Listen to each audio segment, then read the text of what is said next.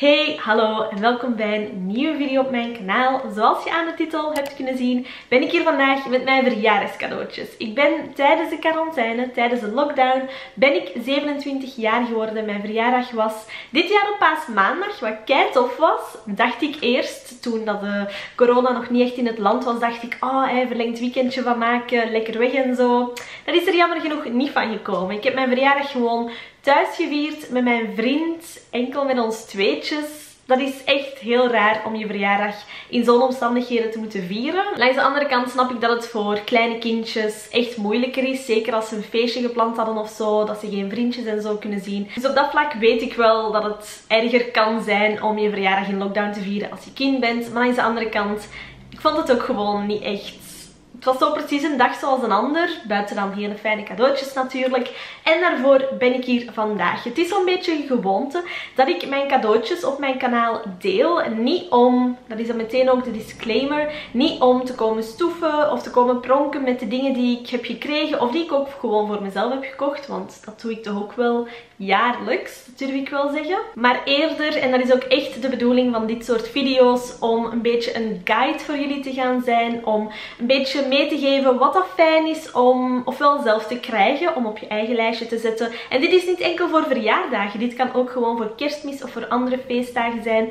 waarbij er cadeautjes worden uitgedeeld. Dus zie dit als een inspiratiebron, zowel voor jezelf om op je lijstje te gaan zetten, als om aan iemand anders cadeau te gaan geven. Je mama, je beste vriendin, een vriendin, een nicht, een zus elke vrouw in je leven. Ik denk dat hier voor iedereen wel iets zit. En ook in mijn andere cadeaus, video's, kan je wel wat inspiratie opdoen. Ik zal daar trouwens een playlist van maken en die op het einde van de video linken. Zodat jullie daaruit een beetje inspiratie kunnen opdoen als je daarnaar op zoek bent. En zoals ik denk ik in elke cadeausvideo's dan zeg, als je dit soort video's niet fijn vindt, dan hoef je hem niet te kijken. Er staan nog heel wat andere video's op mijn kanaal die je misschien wel leuk vindt. Dus ga daar gerust eens tussen kijken. En als je dit soort video's wel tof vindt, laat dan zeker een duimpje achter. En dan ga ik jullie laten zien wat ik dit jaar in 2020 tijdens de corona-quarantaine soft lockdown in België heb gekregen. Oké, mijn verjaardag, paasmaandag, 13 april trouwens, die begon eigenlijk met een beetje uit te slapen. Ik zal gewoon eerlijk zijn, het was een feestdag,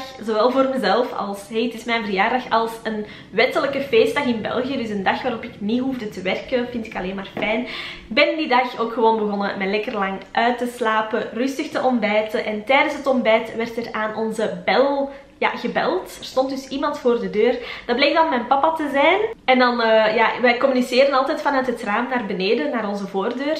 Aangezien wij op een appartement wonen. Dat lijkt voor mij logisch, maar misschien wist je dat nog niet. En dan waren we zo een beetje aan het babbelen en had een groot pak bij. En hij zei, ik ga nu terug naar huis rijden. Dus naar mijn mama en uh, mijn broers en zus. En als ik thuis ben, ga ik facetimen. En dan doen we het met z'n allen open. Dus ik vond dat een kei leuk. Ik had dat echt niet, ik had dat niet verwacht, om eerlijk te zijn. En uh, ja, dan hebben we het open gedaan via een facetime. Een beetje gebabbeld en zo. En wat hij dan bij had, waren twee dingen in een groot pak. Eerst en vooral, ik ga deze heel snel laten zien. Dit handbagagekoffertje van Disney, van Mickey Mouse. Een rode koffer met dan Love en Mickey in zo'n groot hart. Het is gewoon een um, handbagageformaat. Dus deze. Die hadden ze een tijd terug gekocht toen er in de Aldi een Disney weekactie was. Ik had het dan naar mijn mama doorgestuurd met zo'n ding van, ach, ik raak deze week niet bij de Aldi. Super jammer, maar misschien is het iets voor jullie. Misschien kunnen jullie er iets mee doen. En ze had daar voor de rest zo niks niet meer op gezegd. En dan ja, bleek nu dat ze die toen gekocht heeft, waar ik mega blij mee ben. Ook zo'n beetje met het ding, als we nog eens naar Disneyland zouden gaan. Want ik heb een Disney jaarabonnement dat nu ja, niet in werking is. Dus dat wordt gewoon opgeschoven naar wanneer het park wel weer zal opengaan. Dus verloren is het niet en de koffer ook zeker niet, want ik ben wel van plan om terug naar Disneyland te gaan van zodra dat alles weer in orde is en liefst van zodra er een vaccin is. Maar dat is te veel uh, corona en daarvoor zijn jullie hier natuurlijk niet. In die koffer zat ook nog iets anders, namelijk een dekbedovertrek. Hetzelfde, dit had ik ook doorgestuurd naar mijn mama, zat in de weekactie van Aldi. Die kan je daar nu niet meer vinden, maar ze doen dat wel geregeld, want dit was niet de eerste keer dat ze dat deden.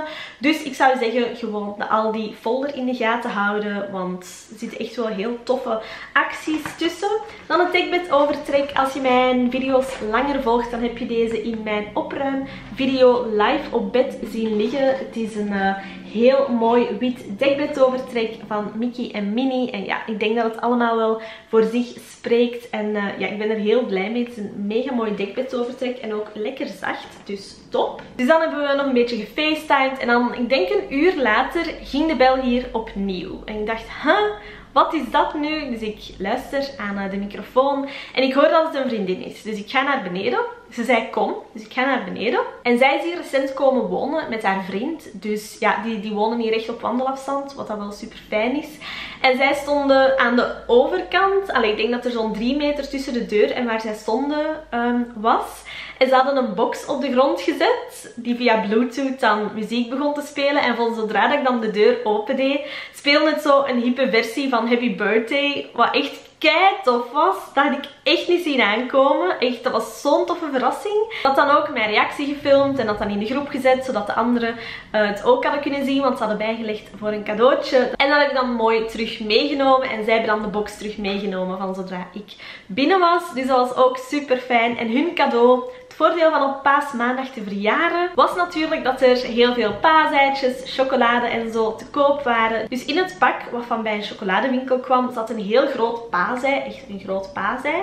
Als je dat dan opendeed, zat het vol met pralinetjes. Echt kei lekkere pralines. Mega tof. Had ik ook helemaal niet zien aankomen. Dus dat was ook echt kei tof. En ja, kei lekker. Chocolade altijd lekker. Dus ook een super fijn cadeau om te geven. Met chocolade doe je bij een vrouw echt nooit iets mis. Dus ja, dat kan ik jullie niet meer laten zien, want dat was binnen no time opgesmuld. Op het cadeau van mijn beste vriendin heb ik wel wat langer moeten wachten. Deze was er pas na drie weken. Hoewel dat ze die tijdens de week van mijn verjaardag wel besteld heeft. Ze had wel laten weten dat er iets op weg was. Maar wat, dat wist ik natuurlijk niet. Tot het dan na enkele weken in de bus kwam. Alleen niet in de bus, maar afgeleverd werd door de post. Ik heb namelijk een goodiebox gekregen. En dat is iets dat zij recent voor zichzelf heeft, ja, abonnement op heeft genomen. En ze vindt dat mega tof. Ik ook. Ik vind dat ook super tof. Maar ik neem er voor mij nog geen abonnement op. Omdat ik nu gewoon te veel producten in mijn collectie heb. En die producten moeten eerst op voordat ik aan nieuwe kan beginnen. Maar ik ben hier natuurlijk wel mega blij mee. Dit is de goodiebox van april. En voor zij die het Goodiebox niet kennen. Het is een soort van abonnementsdoos. Maandelijks betaal je 20 euro voor een doos. En in de doos zit altijd iets van een grotere waarde. En je weet nooit op voorhand wat erin zit.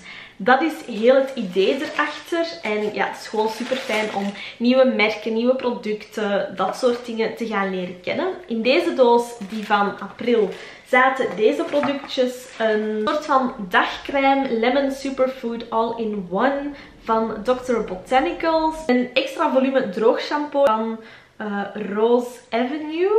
Ik ken het merk niet, maar de verpakking ziet er wel geweldig uit. Dan zat er een klein maskertje in met zo van die kleine maskertjes voor op je pukkels te doen. Dus zo kleine patchjes om op pukkeltjes te gaan plakken van het merk Mask Me Up Spot On. En het zijn pimple patches. Dan zat er dit kleine dingetje in. Dit is een pure hyaluronzuur serum. Is wel mega mooi verpakt, want het ziet er allemaal heel groot uit. En dan zit er zo een klein flesje in, dus dat is wel fijn. En dit is van het merk Pestle Mortar. Ook nog nooit van gehoord.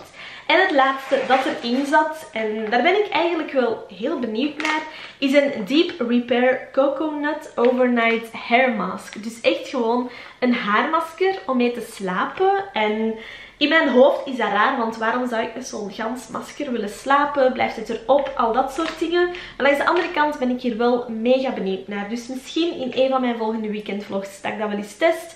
En dat ik met jullie kan delen of dat nu fijn was, de moeite was of niet. Dus dat zat allemaal in die goodiebox. En dan blijf je achter met zo'n doos die er wel super tof uitziet. En die dat je gemakkelijk in je interieur of zo zou kunnen gebruiken om dingen echt in weg te stoppen. Het is een een stevige doos die dat je zeker kan gaan hergebruiken. Dus voor de skincare lovers is dit wel een fijn om op je lijstje te zetten om zelf te gaan geven. Aangezien dat er altijd wel iets anders in zit en je er eigenlijk nooit echt iets mee kan misdoen. Van mijn vriend kreeg ik natuurlijk ook enkele hele fijne cadeautjes. Nu, ik moet wel eerlijk zijn, ik wist wel op voorhand wat ik ging krijgen.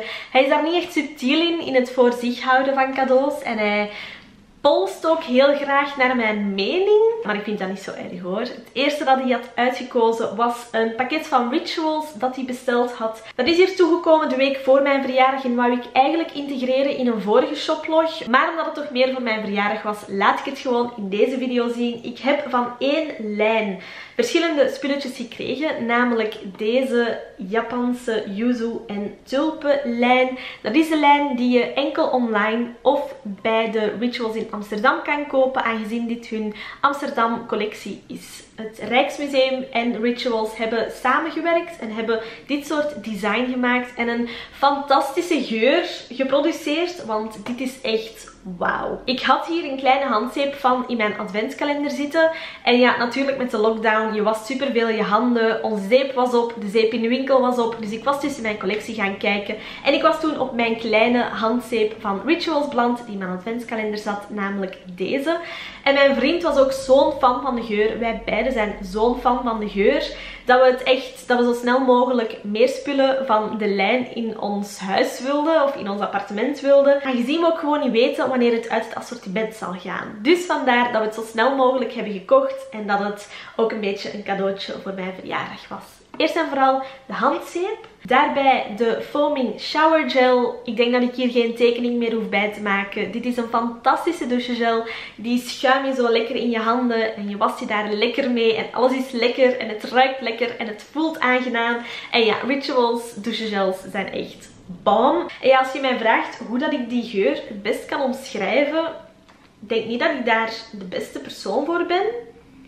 Maar het is gewoon een hele frisse, aangename geur. En ik kan er geen slecht woord over zeggen dan fris, aangenaam en niet te overheersend of zo. Dus ja, ik zou het zo het best kunnen omschrijven. Het duurste wat we van deze collectie kochten zat in deze mooie grote tube en zijn de fragrance sticks. Er zitten zo lange stokjes in, die zitten hier nog in. Maar de uiteindelijke ja, verpakking ziet er zo uit. Dit is een stenen vaas met die heerlijk mooie designs op, getekend. Ik vind het echt super mooi. Deze kan je eraf halen en dan zie je dat dit de fles is waar dat de geur in zit. En waar dat je dan die stokjes gaat inplaatsen en die dan een geur in je kamer, in je woonkamer, in je huis gaat verspreiden. Deze hebben we ook nog niet gebruikt aangezien we nog een andere aan het opmaken zijn. Maar ik vind dit er zo mooi uitzien. Dit is echt helemaal mijn ding. Dus uh, ja, ook deze iets prijziger. Ik denk dat die iets van een 45 euro kost. Maar aangezien dat je het echt wel kan bijhouden, vind ik dat zeker waard. Ja, met rituals zit je ook nooit verkeerd als het gaat om cadeautjes. Nu, mijn grootste cadeau, om zo te zeggen, van mijn vriend was echt te zot dat we dat gevonden hebben. Ik zeg we, want ik had het eigenlijk eerst online zien staan. Lang verhaal, kort gemaakt is, ik ben al mega lang op zoek naar een vintage Louis Vuitton rugzak, de Montsouris MM. Dat is een rugzak die ik al lang op het oog heb, die ik maar niet kan vinden in mooie conditie voor een oké prijs. Als ik die dan vind, dan willen we hem kopen en dan laat de website ons weten dat de verkoop niet doorgaat om onbekende reden. Dus dan dacht ik, ugh, stom. Dan had ik hem op tweedehands zien staan bij iemand die redelijk dicht in de buurt. Ik was daarmee aan het chatten en we waren foto's aan het uitwisselen en zo. En dan liet hij gewoon weten van, ja, hij is verkocht. En toen dacht ik, huh, wat? Dus dat was zo een kleine bummer. En ik weet dat ik toen nog tegen Nico heb gezegd van, het universum wil precies niet dat ik die rugzak kan kopen of zo. Tot dan enkele dagen voor mijn verjaardag, want ik heb hem nu een dag na mijn verjaardag toegekregen, zat hij plots terug op tweedehands. Een heel mooi exemplaar waarvan ik dacht, daar moeten we meteen op springen. Zo, op springen.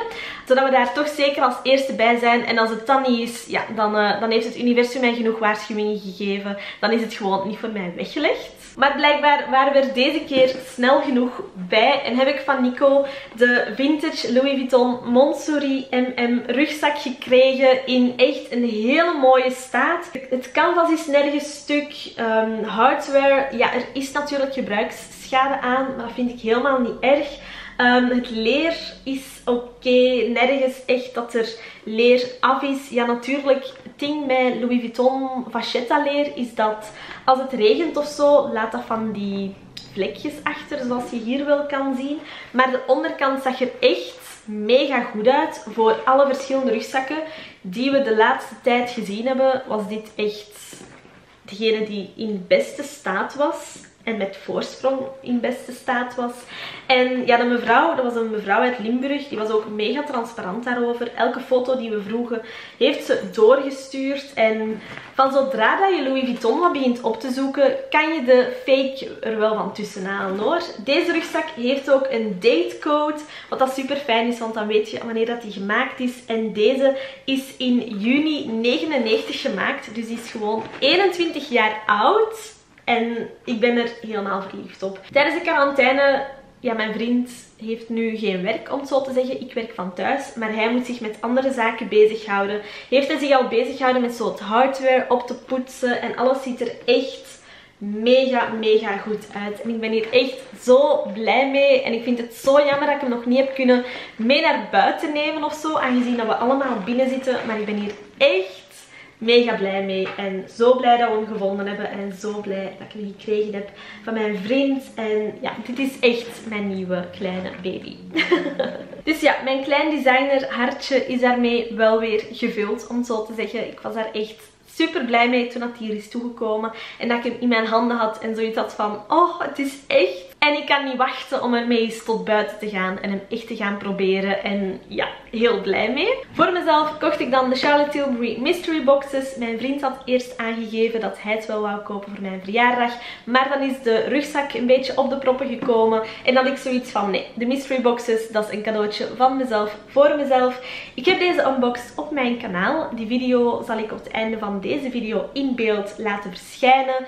Heel blij mee en ook best wel goede deals meegedaan. Dus van die mystery boxes zijn ook wel altijd super fijn om te krijgen of om te geven. En dan als laatste, ja het was nu gewoon toevallig eigenlijk een beetje dat het mijn verjaardag was. Ik was zo'n beetje aan het denken. Ik wil super graag wel meer tijd en zo in YouTube gaan stoppen.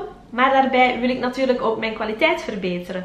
En dat ben ik toch zeker van plan om te doen in de komende video's die er aankomen. Wil ik alles een beetje geleidelijk aan gaan veranderen. En daarbij wou ik super graag een nieuwe camera. Ik was dan zo'n beetje de berekening aan het maken. We zullen dit jaar toch niet op reis gaan. Ja, dan kan ik die centjes beter gebruiken voor iets dat ik ook super graag doe. Namelijk video's opnemen. En dan ben ik beginnen opzoeken. Verschillende camera's opzoeken. Lenzen en zo. En ben ik bij de Canon EOS 250D beland. Die heb ik dan gekocht. Die ligt ook hier op mijn bureau. Want daar film ik momenteel nog niet mee. Omdat ik echt nog instellingen wil uitzoeken. En verschillende angles wil uitzoeken. En misschien moet ik mijn camera dan een beetje aanpassen. Als ik dan zoiets nieuw doe, dan wil ik het ook meteen goed doen. Ik denk dat dat mijzelf wel goed beschrijft. Dus vandaar, ik heb hem al eventjes in mijn bezit. Hij ziet er zo uit.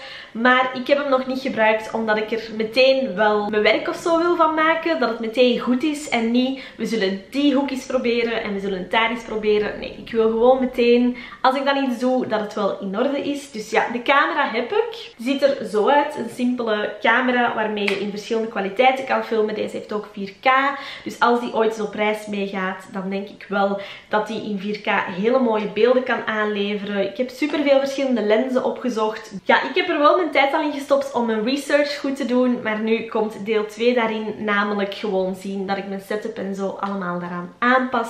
Dus ja, een prijziger cadeau voor mezelf. Maar mocht ook wel. En ik ben daar ook mega blij mee. En heel excited om daarmee aan de slag te gaan. Maar dat is dus voor in een van de komende video's. En dan zijn we er gewoon al door. Met dit heb ik alles laten zien wat ik voor mijn 27e verjaardag gekregen heb. Of zelf gekocht heb. Ik hoop dat deze video niet te lang is. En dat je er ook wat aan gehad Als je nog een vraag hebt over iets wat ik heb laten zien. Of je wil graag iets vertellen. Of eender wat. Laat het dan weten in de comments hieronder. Ik lees en beantwoord mijn comments altijd. Dus ja, babbelen, dat zit er sowieso wel in. Als je deze video dan fijn vond, laat zeker een duimpje achter. En als je nog niet geabonneerd zou zijn op mijn kanaal en je vindt dit soort video's leuk, kom er dan gerust bij abonneren. Dat doe je door op mijn foto hier te klikken. Zo blijf je ook op de hoogte van elke volgende video. En tot dan. Dag.